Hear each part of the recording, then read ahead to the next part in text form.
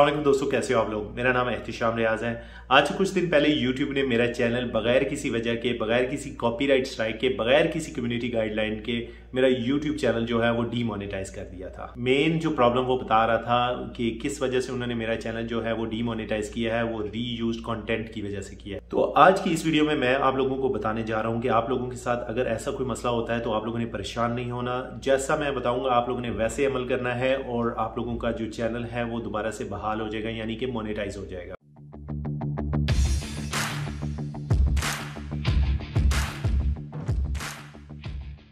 सबसे पहले तो मैं आप लोगों को बताता चलूँ कि YouTube जब आप लोगों का चैनल जो है वो डीमोनेटाइज करता है तो आप लोगों को अपील का एक ऑप्शन मिलता है और अपील के लिए 14 दिन जो होते हैं 14 दिन के अंदर अंदर आपने अपील करनी होती है। अगर अपील आप नहीं करते तो आप लोगों का चैनल जो है वो परमानेंटली डीमोनेटाइज हो जाता है। आप लोगों ने कोशिश करनी है कि जल्द से जल्द अपनी अपील जो है वो दर्ज करानी है और अपील दर्ज कराने का जो तरीका है वो मैं आप लोगों को बताता चलूँ। सिंपली आप लोगों ने मोबाइल लेना है या कैमरा लेना है, जिससे आप लोग वीडियो बनाते हैं, आप लोगों ने अपनी एक वीडियो बनानी है, जिसमें आप लोगों ने अपना चैनल का लिंक जो है वो शो करना है। आप लोग लैपटॉप ऑन करके लैपटॉप की रिकॉर्डिंग करके आप लोग शो कर सकते हैं कि ये मेरा चैनल है। फिर आप लोगों ने बताना है कि आप लोग कंटेंट जो है वो कैसे बनाते हैं। अगर आप लोग व्लॉग्स वगैरह बनाते हैं, या कुकिंग का आपका चैनल है, या जिस चीज़ का भी आप लोगों ने चैनल बनाया हुआ है, आप लोगों ने बताना है कि मैं वीडियो ऐसे रिकॉर्ड करता हूँ, मैं कंटेंट इधर से लेता हूँ, मैं मतलब कि ऐसे एडिट करता हूँ, ऐसे मैं थंबनेल डिज़ाइन करता हूँ, ये सब कुछ आप लोगों ने उस दो से तीन मिनट की वीडियो में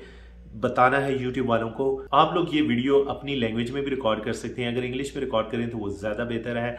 मैंने इंग्लिश में रिकॉर्ड करके भेजी थी। वैसे तो मेरी इतनी अच्छी इंग्लिश नहीं है, लेकिन फिर भी उन लोगों ने 24 घंटे के अंदर अंदर रात को मैंने जब अपील किए तो सुबह दस बजे तक मेरा चैनल जो है वो दोबारा से रिवाइव हो गया था, यानी कि मोनिटाइज हो गया था। आप लोगों को परेशान होने की ज़रूरत नहीं है। अगर आप लोगों के साथ ऐसा कोई मसला हो जाता है तो ये इतना बड़ा मसला नहीं है कि जो हल ना हो सके। हाँ अगर आप लोग किसी और का कंटेंट यूज़ कर रहे हैं तो फिर आप लोगों को प्रॉब्लम हो सकती है। मेरे चैनल पे 95 परसेंट जो है मेरा अपना कंटेंट था, इसलिए जो है मुझे इतनी ज़्यादा प्रॉब्लम नहीं हुई और मेरा कुछ ही घंटों के अंदर अंदर यूट्यूब चैनल जो है वो बहाल हो गया और उस पर दोबारा से एड्स चलने शुरू हो गए।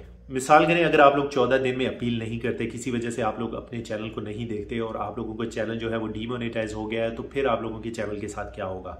तो सिंपली YouTube जो है, वो आप लोगों के चैनल को डीमोनेटाइज कर देगा। आप लोगों के टारगेट जो है, वो आप लोगों को दोबारा पूरे करने पड़ेंगे। यानी कि अगर कुछ घंटे कम हैं तो आप लोगों को वो पूरे करने पड़ेंगे तो फिर आप लोगों का चैनल जो है, दोबारा मोनेटाइज होगा। होप सो ये वीडियो आप लोगों के काम आएगी। अगर वीडियो पसंद आई है तो वीडियो को लाइक ज़रूर कीजिएगा और मेरे चैनल को सब्सक्राइब ज़रूर कीजिएगा। इनशाला आने वाली वीडियो में मैं आप लोगों को यूट्यूब से भी रिलेटेड बहुत ज़्यादा ऐसी मालूम देता रहूँगा।